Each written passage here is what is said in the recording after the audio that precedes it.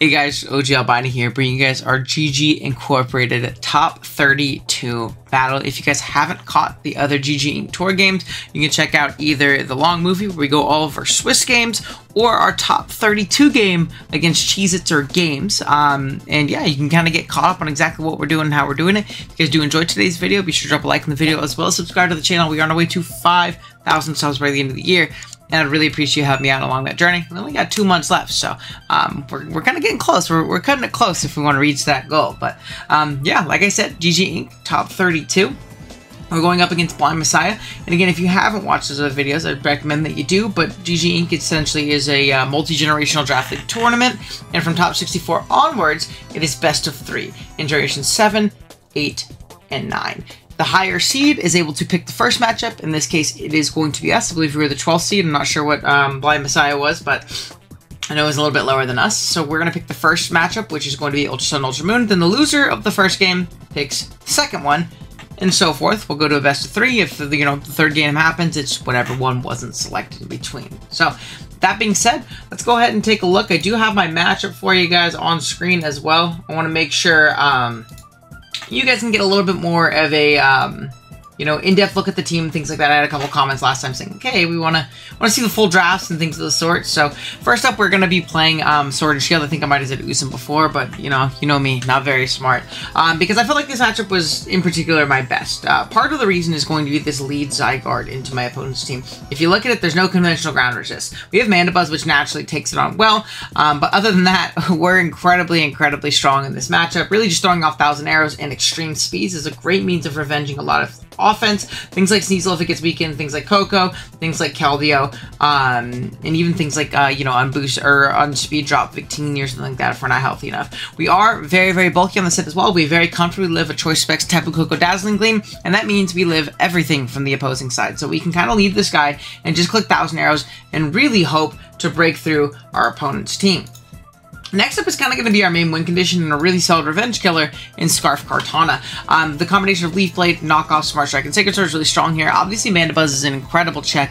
However, Mandibuzz is really the only response to Zygarde. And Zygarde is used correctly in the sense that it's forcing in Mandibuzz and we can either 1v1 the Mandibuzz and kill it, or keep it incredibly low, we really open up Kartana endgames with either Knockoff Leaf Blade or Smart Strike. Sacred Sword is just kind of super effective coverage at Steelix if really needed. I don't imagine I'll really ever click that move, but you know, maybe we're in a 1v1 situation where we need to kill it and uh, or, or get that big 2-hit KO on it to open up something like maybe our Tapu Koko, which is going to be a little bit more of a defensive variant this week. Rocking out with Rocky Helmet. Thunderbolt, Grass Knot, U-Turn, and Roost. I like Rocky Helmet for a multitude of reasons, the main of which being kind of that Sneasel is really annoying. Um, also, this is going to be my main pivot into Mandibuzz very often. If I'm going to get knocked off, I want to do a little bit of chip damage in between, er, in the meantime. Rocky Helmet is also going to punish Koko U-turns on the other side, and it's also going to punish um, Victini going for either U-turn or V-create, at least, you know, making it take a little bit of damage. But really, it's mostly for Pokemon like Koko, Mandy, and Sneasel, which is really nice. Grass Knot is to hit that Swampert. It also has decent chunk to Steelix, despite it being neutral, just because Steelix isn't the bulkiest Pokemon in the world, stupid F-wise. Um, and then we just have U-turn, Thunderbolt. Pretty simple set. Um, it's just going to kind of be used as a pivot here to hopefully get in our offense. If we force in guys like Steelix, U-turn, Zygarde, Thousand Arrows. That's kind of the idea, at least. Then we have an Assault Vest Nihilego. This is mostly going to be here for the opposing Tapu Koko, but it also pivots into Pokemon like the Dragalge well, and having the ability to very comfortably eat a hit from Keldeo is also really, really nice. Also gives a potential revenge killer to something like Victini, which is really, really annoying into the team. We also ensure that with our 330 special attack set that we're still getting a special attack boost when we get a kill, and I think that's important because I actually think this Pokemon's really strong here. Again, we have the Steelix here, but Steelix is pretty pressured. If we ever force any damage on that guy, like say it, you know, trades to get off a big hit on Zygarde and takes a thousand arrows, Nihilego's really strong here, and Grass Knot does a big chunk, especially if we get boosted up and start doing some damage. Other than that, the combination of our stabs plus Psyshock is really strong. Psyshock for Calm Mind Keldeo, as well as Dragalge hitting it very, very hard. Then, we have especially defensive Wacan, Berry, Jellicent, where Scald, Nightshade, Recover, and Toxic. Pretty simple stuff. Wakana's just going to help us cover, not really the Koko. I mean, it's nice to live hit from Koko and get a Scald off if we need to. But really that Victini, whether it be a Thunder or Thunderbolt variant, or it be a Bolt Strike variant in the Electric Terrain, does a lot of damage. Can, can potentially just nuke through us depending on what the set is. This ensures that we can always live a hit on it uh, against it and always get off a big Scald, which I think is very valuable personally in order to open up things like Kartana or put in range of Zygarde, Tapu Koko, things of the sort. Toxic is for the Keldeo, um, and Nightshade is to help us break subs on Sub Calm Mind variants, which can be very, very scary and annoying like Calm Mind Toxic or something weird like that, right? Um, Toxic also hits Pokemon like Mandibuzz and, you know, really whittles them down. And this Pokemon's just generally annoying. It also switches into likes of Swampert and Steelix very, very comfortably, and it's just a big nuisance for my opponent overall. And lastly, we have my goat here, Big Wiggles. Big Wiggles is making its debut. We're rocking out with a not like a Wish variant, which is interesting, but we're uh, we're Dazzling Gleam, Flamethrower, Stealth Rock, and Teleport. This Pokemon's to function as a solid pivot to a lot of the special offense. Pokemon like Keldeo especially, it's to be really nice into.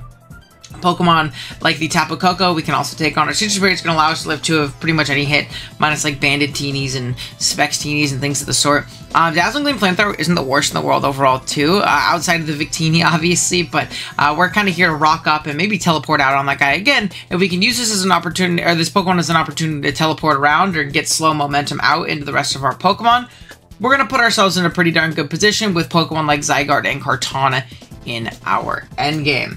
Alrighty, with that being said, let's go ahead and swap on over to the battle itself. You can see the team my opponent elected to bring. It looks like they left on the bench the Dragalge, sorry, excuse me, and the Sneasel. So we have the likes of Steelix, Victini, Koko, Mandibuzz, Swampert, and Keldeo. Like I said, I'm just going to lead off with my Zygarde. There's really not much my opponent can do in the means of stopping this Pokemon from really punching a hole in the team. If this isn't a physically defensive Mandibuzz, we're putting ourselves in a really good position, and I'm totally willing to trade my band onto the Mandibuzz um, so that I can open up Kartana, because once that thing's gone, it's really, really just the Victini in the way of Kartana winning the game, and um, I feel pretty confident in my ability to be able to break through that guy, so... We lead off Zygarde, they're going to U-turn out immediately as there's no reason to risk um, this being Roselia or just bulky as I am um, and not dying. And if this isn't Specs, it never kills any Zygarde anyways because Zygarde's ridiculously strong. We're going to get off a thousand arrows here, do just about 45, which isn't a 2-hit KO, but we do a ton of damage here, and that's great because in my head I'm like, oh, cool, cool. I'm just going to keep spamming arrows. They can either waste all of their roost or get crit. I'm totally fine with this. I need to keep this guy low, but we see this Mandibuzz is faster than this. If you guys remember our Zygarde, I believe we're not very much speed. We're about 12 speed, but that means this Mandibuzz is pretty darn fast, and I really was not expecting this. So I'm kind of punished a little bit here for not going a faster Zygarde. Um, and this is really going to kind of dampen the plans of Zygarde always keeping this Mandibuzz low, as we do a lot of damage, but um, the Roosts are going to kind of outpace us at this point. So this next turn, Foul Play pops as I do click a 1,000 arrows once again, doing 49%. And now I'm going to pivot out into Koko as a Roost is inevitable here.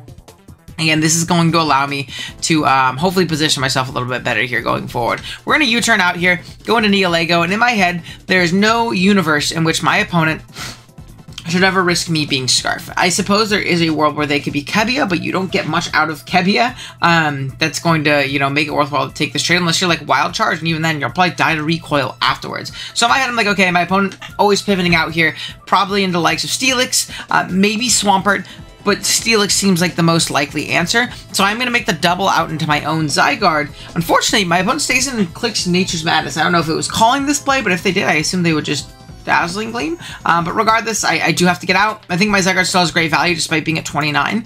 It is tough. Um, being at 29%, I would have loved for this thing to be a little bit healthier as it's really strong into the team and it still is quite bulky um, at whatever double of 29 is. But not the end of the world. We can still position in on some Pokemon and, you know, pick some KOs. Swampert is going to be the next Pokemon out here. I am just going to elect to throw off a big grass. Now, I get a crit here, which is nice on the Rindo Berry, but doing this damage, again, makes it so where Pokemon like Zygarde can come in and really put on a lot of pressure still. We're going to go into our Koko, threaten a Grass Knot right here, as Grass Knot does come out does just about nothing to this Koko, but I a U-turn out the next turn. Sure to be faster, which is a bit unfortunate, as a Nature's Madness does pop. Doesn't pop our Sitrus Berry due to us being um, an odd HP number, but I find this is an opportunity to potentially get up my Stealth Rock, and uh, again, slowly whittle down this team. It also lets me know if this Victini is going to be Boots, Scarf, uh, or if it's going to be Boots, or if it's like a Scarf or Colbur variant. I think Colbur is potentially pretty likely for the likes of Cart, because I think this team is pretty susceptible to losing to Kartana. But we'll see. Thanks especially Defensive Wiggly. eating that hit up. We're going to get up our Stealth Rock right here. I do like to just sack this thing off and punish an over-aggressive U-turn. It looks like the U-turn happens right here. However, my play always here should have been to teleport. Spoilers, we don't. I clicked Flamethrower for some reason, thinking my opponent would be Psycho and go into Steelix, um, but really that was never going to be their play. They were going to go into something like Victini if it wasn't Boots, um, or potentially like something like Swampert because it's low enough and can outspeed me and kill me the next turn. It's not like I threatened to kill on it. They do go Swampert. Again, I think teleporting goes always better. It lets me keep the sack in the back, but not the end of the world. We are Wigglytuff at the end of the day, and hey, Wigglytuff did his job. It got up its rocks, baby. We're gonna go out into Zygarde right here, as this does put on immense pressure. gonna just go ahead and click Thousand Arrows. It does kill Swampert from this range, guaranteed. Down it goes. Mandibuzz is going to come out next. I see my free pivot out into Koko. This does show to be a defogging Mandibuzz. Um, so unless this last move is talk or isn't uh, U-turn, it's probably not a toxic Mandibuzz, which makes my Koko a really, really nice response to this thing over long term. Uh, over long term. U-turn's gonna come out on a Steelix. I'm gonna get onto my Zygarde, as even if I don't kill here, this is again a Pokemon I really, really want to break down. It also opens up things like Koko to potentially just pick up a KO almost every time it's in, um, and I can do a ton of damage to this team. Out comes the Mandibuzz, and I click Thousand Arrows, doing about 43. Again, finding a position to get out of my Koko, and either this thing U-turns or Toxic and doesn't roost, and my Zygarde looks great, or it roosts and I maintain initiative and momentum once again. Roost is going to pop, getting this thing back up to 65. And again, keep in mind, this is also old gens Roost, so there is 16 of these. It's not like I, I can very viably stall these out with my uh, Zygarde earlier, right? So there's there's a lot more recovery in these gens. Uh, we're going to U-turn out on the Steelix again. And again, I feel very confident to this point that my opponent is going to make this pivot out into Mandibuzz. I think losing Steelix this early just doesn't make any sense. It really, really opens them up to losing to Koko. Um, or at least very, very much so struggling with the Pokemon. Obviously, they still have their own Koko, uh, but regardless, I am just going to go ahead and click a big Stone Edge on a prediction here, hoping I can pick up a KO on this Mandibuzz. We do hit the Stone Edge on the Mandibuzz switch, and we get a crit and knock it out. I'm honestly not sure if that crit mattered. Um, they didn't yell at me in the game chat, so I don't know if it did. I'm adamant, banded. My arrows were doing like 40, so I don't think it mattered if, if my head calcs aren't terrible, but if it did, I apologize. Um, but I'll take it, you know? is going to come out next. I'm to make a pivot on the Koko. This seems weird. I have a Jellicent. The reason we make this pivot is because I really do expect a Toxic variant, um, or at least a Toxic to come out right here, or a substitute um, on said, you know, expected Jellicent switch, and my Koko can kind of deal with this a little bit more offensively in that regard, and I like keeping health on Jellicent in order to take a hit from Victini and weaken it down for my Kartana. So I make this a little bit of a, an aggressive pivot. It pays off too, because we take a Toxic right here. I am just going to U-turn once again as the Steelix comes out, really taking advantage of this thing always having to come in on Koko, and Zygarde's just going to click a Band of Thousand Arrows, do 75%. So again, we're kind of opening up that end game uh, for our Kartana, potentially for a knockoff sweep, potentially for a Leaf Blade sweep if we're able to knock this thing out, or, or Smart Strike. it would probably, it would be Leaf Blade. There's no, there's no reason to ever click Smart Strike at this point. Um, but we're going to do Thousand Arrows. It does eat Sitrus, so it is healthier than I'd like. And it clicks Earthquake here, showing to not be Ice Fang. This is big. Because of this, we're able to just barely live on 2%. Get off another 1,000 arrows into this Keldeo, and I think this is a big, big mistake for my opponent right here. I understand wanting to keep the Steelix around, but your own Koko probably checks my Koko to an extent and your Victini's still at full. Health on this Keldeo is kind of one of the only things stopping a knockoff sweep from happening. Really, it's just getting Koko in range at this point maybe finding out what this Victini is. Um, and what I can do here with Zygarde is I'm able to save this for E-Speed, Priority, and Pressure later. Um, obviously, Steelix, I can outspeed Narrows. Everything else, I'm just going to Extreme Speed and hopefully put them in range of Kartanas later on. Jellicent's going to come out on this Scald right here as they switch out this next turn, showing me that they're probably some kind of Choice variant. I think afterwards they showed me that they were Choice Scarf. Um, and it wasn't like a sub-toxic variant. As Koko is going to come out, I believe I do double out into my own Koko right here. I was mostly trying to cover it being toxic right there. I didn't want to take the toxic on my gelatin if I didn't need to. And again, I can put on a lot of pressure otherwise. We're going to go ahead and U-turn out on this Koko, get out of my own Kartana. I know that this thing can't really immediately pressure me unless this is like random Thunder Wave last move, but I'd be very, very surprised to see so. Um, I can kind of get out into my cart and again, use it as a Pokemon that can kind of break for itself. There's not really much that wants to switch into card at this point. And if this Koko, as it roosts, stays in and takes this Leaf Blade, again, we're slowly putting everything in range of a plus one, plus two, plus three knockoff at this point. So Leaf Blade does a ton of damage damage as we see a U-turn out. And again, at this point, we're really setting up that uh, that knockoff sweep right here. Victini's going to be a switch out here as they do Glaciate, potentially expecting, I guess, the Koko to be able to Glaciate into, uh, what do you call it? um, fire move and knock me out. But I do go Jellicent, and thanks to our Wacan Berry in the terrain, we do eat up this Bolt Strike, and I get off a big Scald. Now, keep in mind, I would like to mention, this is not in range of knockoff if it is Colbur. If it is not Colbur, I kill it from here. However, once I get up to plus one, this thing is dead. So it's really just about finding a position to get a knockoff kill with Kartana from this range, and we kind of win the game with Big Cart here. So another Bolt Strike pops. I'm just going to sack off my guy. No reason not to get out into my Zygarde, and uh, my opponent's in a tough spot right here, right? They can't really stay in and take this E-Speed, because E-Speed will also put them in range of knockoff. Even if they're Colbur, I'm a Kartana, right? So they can't stay in and take this E-Speed. Keldeo dies. Steelix can come in, but even then, I, I, can sack something, get out in a card, and again, just just knock off at that point, right? Because his Banded E-Speed is still going to slowly put that thing in range. And Steelix does come out, it is going to extreme speed, do 12% here, and I make a bit of an aggressive play right here, and I think this was a pretty bad play. Um, I should always sack Koko here, uh, in my opinion. I, I, don't think there's ever a reason not to sack Koko. um, and the reason that if I go Kartana here and their Sheer Force Fire Fang, this puts me in a really bad position if they get this KO here. Thankfully, they do not. It doesn't look like that was a roll based on their investment, uh, or based on what that roll did, 73 leaving me at 9. So unless they got absolutely min-rolled, I think I was okay there, but I'm also risking crit. I'm also risking it being potentially, you know, a roll to kill me. I didn't even calc that, to be completely honest with you.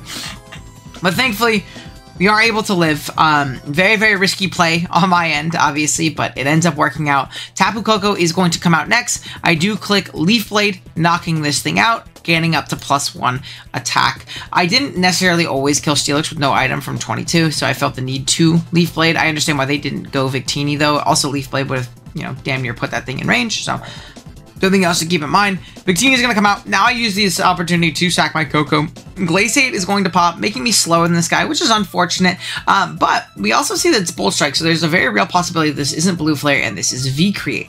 If this is V-Create, which I do expect to be based on the Bolt Strike damage doing a ton to my Jellicent, um, this thing is going to put itself in range. Obviously, um, with you know the defense drops, but especially with um, the helmet hit that this Koko will allow. So I am gonna go ahead, take this V create, does 64. We see the defense drops and this Rocky helmet. This is gonna allow me to get into my Kartana and click knockoff. From this point, Keldeo is 2 it KO, does 27, obviously, so the next one will do 1%, guys. Uh, we're going to knock this thing off. We don't have to worry about Vacuum Wave, by the way, guys. This is Generation um, 8 Keldeo didn't have Vacuum Wave. We're going to knock off again. This does show to be Colbur. We're able to knock that guy out, and obviously Steelix at 22 dies, and even if it didn't, we still have our Zygarde able to knock it out. So we're able to win this one um, by the hairs on our chin with a 9% cart and a 2% Zygarde. I think there's plays that I was definitely a little bit over aggressive and I didn't get super punished for in this game, but a win is a win. Um, we will take it, and we move on to game two where Blind Messiah ended up picking Generation 9 Draft League. So no Usum game just yet.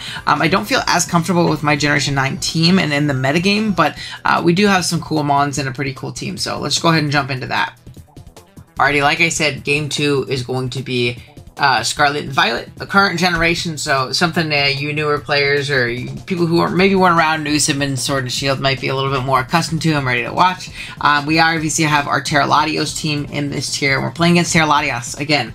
And if you guys remember from the previous videos, not a Pokemon I'm too fond of. Tera Steel is really, really difficult for my team to deal with. Um, but I think I prepped around it pretty well in this matchup and uh, did a pretty good job in uh, in using it. We also have big threats like Iron Valiant Tera Heatran, um, and Rillaboom, but then the rest of the team is a bit passive and defensive. Things like Mandibuzz, Gastrodon, Swalot, I'm not big on. Um, Swalot's like nice for like its budget point value, and then I think Knacklestack is really, really bad. It's obviously not coming against me because I don't have a ghost, and like that's the only reason you bring it is like if you have like a niche ghost matchup where you like need to check them on or something like that. But regardless, um, first up we have our Latios. Once again, our main win condition. I always thought I was going to use this thing more offensively, like Tera Dragon Dracos and all this, um, but defensively it's still so good, right? We're a very, very bulky variant. Um, pretty much just max HP, leftover and special attack, speed for base 100. So what are we base? What are we speed for? Oh no, we're we're speed creeping Latios, creeping our base 100 in Tentacruel. Um, but pretty simple set. We're Psyshock, Aura Sphere, Calm and Recover. Tera Poison allows us to not get toxic by the likes of Mandibuzz, um, and also not have really any glaring weaknesses on the team outside of Psychic from things like Latias and Iron Valiant, but I'm hoping the Latias is either chipped down um, and dead by the time this comes in. or the Valiant is, um, or we're not in range of the Valiant at that point because we're pretty darn bulky, or the Valiant is obviously dead as well. Jeez, excuse me, sorry. Uh, the combination of Psyshock or Sphere hits absolutely everything.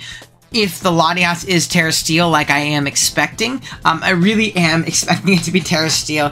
Mandibuzz, obviously, we don't hit super hard initially, but we are able to pretty easily set up in that thing's face. It really doesn't do anything to us once we tear up Poison.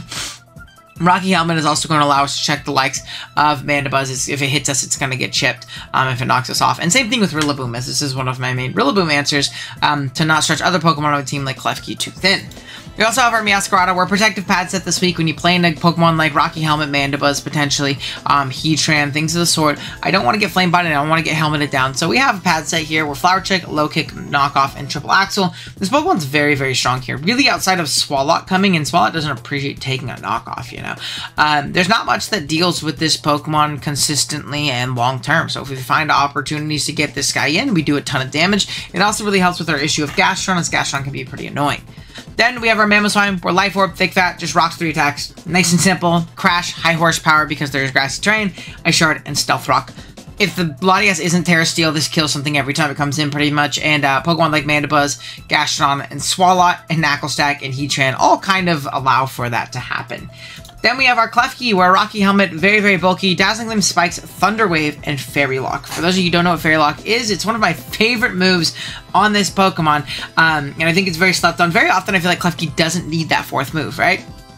I have Gleam to hit the mons I want to hit, um, like uh, Mandibuzz and Valiant, Non-Tera Latias, Gastron, whatever. Spikes to get at spikes, T-Wave to really pressure Pokemon like Valiant and Latias and things of the sort and slow them down.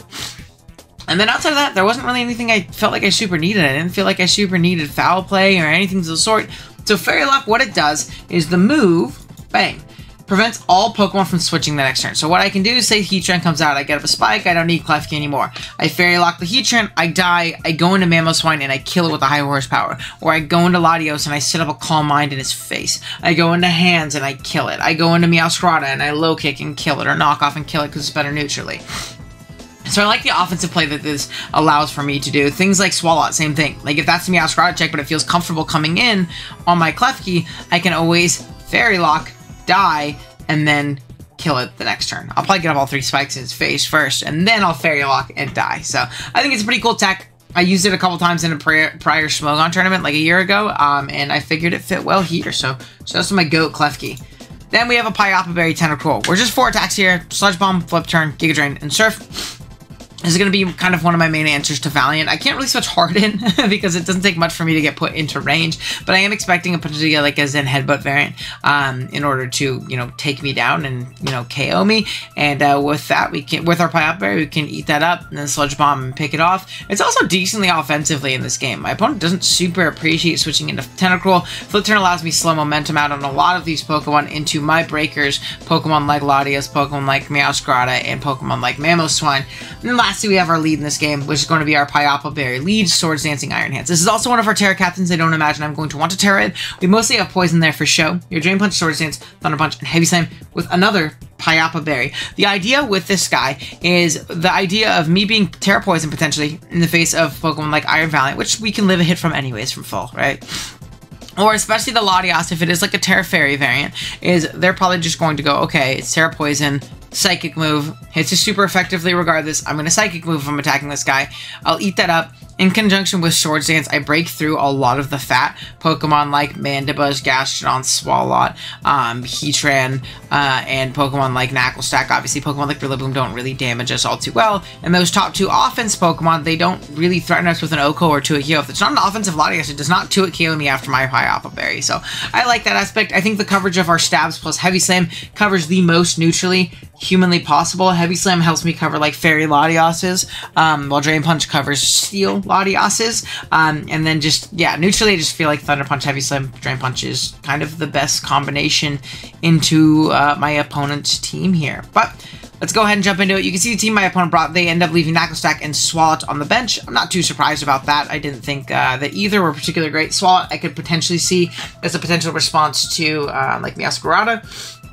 Other than that, it was really bad into everything else in my opinion. Maybe Klefki too if it's like sitting up iron defenses on it. Or um, whatever, uh, acid armor, not iron defense. But yeah, that being said, uh, we're going to go ahead and jump into it. You can't see the Tera types on the side, but it is going to be Tera Fire Heatran and Tera Steel Latias. So like I expected, Tera Steel, it's kind of just the best set against my team. This also shows like, again, from the free Tera, Tera preview kind of side of things, yes, could they be 18 different types? Yeah, but Steel and Fairy were by far the best two into me, and I was able to kind of identify that in prep, and I was rewarded for it. So that's obviously really nice and it lets me be a little bit more flexible with my own Tera types and my opponent has to kind of make those same calls. So I am going to lead off my Iron Hands. We do see a lead Mandibuzz. This is beautiful. I'm just going to get a Swords Dance off. There's nothing this Mandibuzz can do to threaten me immediately. It can toxic me, I guess, but then I'm at plus two for free. Do get off a Swords Dance as Latias is going to come out this next turn. And again, this is Tera Steel, so I get a little over aggressive this first turn. I'm like, okay, I'm going to Drain Punch. I think they're going to Tera Steel and, uh, you know, in order to live that Ice Punch potentially that's coming out, and uh, I'm to Drain Punch, get all of my health back, and put myself in an incredible spot. Unfortunately, I get that play wrong. Mist Ball does come out. It doesn't do all too much, only 26. Shout out to God Iron Hands. I do Drain Punch back a decent amount of recovery, get back 33%. And this next turn, I am going to elect to just Heavy Slam. Um, in my mind, I'm like, okay, they're, they're not going to tear. They maybe don't think I have the Ice Punch. I don't know what it might be. Regardless, I'm fine with taking this damage on my Iron Hands just to get off a crazy amount of damage. We unfortunately don't get the roll, doing 71, leaving this thing at like 2%, uh, but not the end of the world. We do go down, but this Latias is essentially neutralized. I mean, this thing is incredibly, incredibly low. What I can do is I can go into something fast like my Meowscarada and threaten this thing with a KO or a big knockoff into something else on the opposing team. Mandibuzz is going to come out. It does show to be Rocky Helmet and Weak Armor, so I understand Rocky Helmet. I am very interested to see Weak Armor, though, because I'm pretty sure if I axled there, this guy was just fucking dead. Uh, like, super dead. I knocked off because it covered both the Mandibuzz coming in, knocking off either Boots or Helmet, and it also covered the Heatran coming in if it was also like a helmet variant trying to get like a flame body burn or something. I'm going to make the pivot onto my key U-turn from the opponent allows them to maintain initiative, but it does give me some more Rocky Helmet chips, so this thing is at 70% with no boots. Keep that in mind as we play throughout this game. Next up, Heatran comes out. I can pivot onto my Tentacle pretty uh, comfortably, pretty freely. They miss the Magma Storm, as Magma Storm does, and then they're going to hit the next one, showing to be very offensive by doing 22, and also showing to, I believe, be Choice Scarf. They could also be like Max Timid. I don't think I was screaming like Timid Heatran on this thing, but I'm pretty sure I was pretty darn close. I get out into my Mamoswine right here. They have to uh, worry about Scarf. They have to worry about me being uh, potentially, uh, obviously, like Thick Fat. I use this as an opportunity to get at my rocks as the Gastrodon is going to pivot in. And from here, again, this Mandibuzz, 70%, no boots, Meowscarada is in. Surf comes out, doesn't do the most damage in the world as Mandibuzz is going to pivot out here. Take 24. I just Flower Trick because I'm not super worried about this thing. It can always roost up this next turn, but I have a ton of immediate responses, and it coming in basically just gives me a free Klefki every single time. So, it is going to roost up this next turn. As I do spike, they actually elect to defog, which I figured was a little bit risky, but not the end of the world. Just going to spike again, as it does end up you turning out. Once again, taking helmet. Now it's at 66%, so that's obviously nice. And now Heatran has to come in and take a spike, which is nice. It's getting nice and whittled down. Fire Blast is going to pop, doing 27%. I am going to flip turn out this upcoming turn whittling down this Heatran even more. Didn't think they'd want to stay in, but hey, not the end of the world. Get out of my Mandibuzz, or my uh, Mamoswine, and I'm just going to click High Horsepower, doing 75% to this Gastron. Keep in mind, this Gastron also does not show boots, and does not show leftovers. So in my mind, I'm like, okay, one, Ice Shard doesn't miss, so it's comfortable to click it. But two, I want to cover for Custap. It does end up being Custap, so thankfully Ice Shard is going to come up clutch here. We do not got the Gastron, don't have to trade it for our Mamoswine, which is awesome. Rillaboom is going to be the pivot out here. They are in a position where they need to Grassy Glide here. There's no position where they cannot. They're also going to show to be um, a Grassy Seed variant. Um, so I'm going to make the aggressive pivot out into my Latios. Obviously, I know they can knock me off.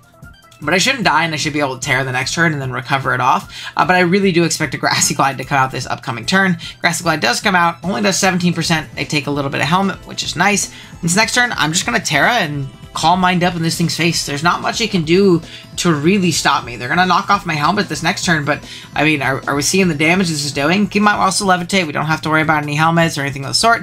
Latias is going to pivot out, and I feel very comfortable in just staying in. Psy-shocking. We are faster than it, as I didn't expect it to be max speed. It is not expected to be very, very bulky. At most, outspeeding Tentacruel, and that's what we creeped and ended up working out pretty darn well. Heatran comes out, confirming to be Choice Scarf. It does get the burn on a Fire Blast, but doesn't do all too much damage. We're going to knock it out with an Aura Sphere. Again, putting ourselves in a pretty darn incredible spot. Mandibuzz is going to come out next, and this tells me that this, uh, this Valiant just doesn't have the moves to hit us or didn't kill with Zen Headbutt slash uh, Psyshock from there. So Foul Play does come out. I recover up in this thing's face, and as you see, uh, Mandibuzz being passive and bad, unfortunately, as we are just going to go ahead and continue to set up in this thing's face. I don't want to set to plus a million, but what I want to do is ensure a 2-hit KO on this thing if it does elect to roost up. I believe that is plus 3 for me. Yeah and we want to ensure that we're at plus three, but also as healthy as humanly possible. We don't really need to be healthy for Rillaboom, but we do need to be healthy for Valiant if it is for some reason still carrying coverage. This next turn, I am going to go ahead and just recover up. We take a little bit more damage from this foul play. It doesn't uh, crit us, so at this point I feel pretty comfortable. Just going for an Aura Sphere. We do 57%. Foul play is going to continue to pop, and again, we can kind of just roost off this damage and uh, put my opponent in a tough spot. Is they're going to foul play again, we recover one more time. And at this point, we're about as healthy as we possibly can be as they foul play this upcoming turn. And we're just going to go ahead, click that Aura Sphere one more time, knock this thing out, and... I mean, even if this Valiant can live from here, we still have our Klefki that can Thunder Wave it. It shows to be booster speed as well right here. We have our Meowscarada that can deal with it. We have priority in Mamoswine, um, and we have plenty for this Rillaboom as well. So we are going to go ahead, Psyshock this guy, kill it. Out comes Rillaboom. Again, Grassy Glide just is not going to kill us. Even a crit would not kill us from that range. And we're going to knock it out with yet another Psyshock. Moving on to top 16. Um, I don't know who I play yet, or I, at least I forget um, if they did have, if they already have announced it. But we move on to top 16. Again, in a big money tournament, in a multi-generational tournament, I feel like I've been playing really well up to this point. I believe I, I was looking at the stats. I'm I'm nine and one. I think I have the leaked stat. Yeah, I have it pulled up. Um, you're not gonna be able to see as well. Hold on, actually, I can go. I can go like this though. Hold on. Oh, I can't because it's it's it's locked. Okay, regardless, we're 9 and 1 plus 26 right now in this tournament, um, including one forfeit win. So I'm feeling pretty confident about how I'm playing in this tournament and how I'm playing in general right now, especially going into the BBL where I really want to perform well and play well, and I was slumping a little bit before. Um, so yeah, hopefully we can keep the ball rolling. I would love to go as far as humanly possible in this tournament where there's some great players around me. So GG BlindMessiah, um, and yeah, we'll be back next week with top 16 on uh, Thursday next week. I'll see you guys then. Drop a like if you enjoyed, sub if you're new. Later.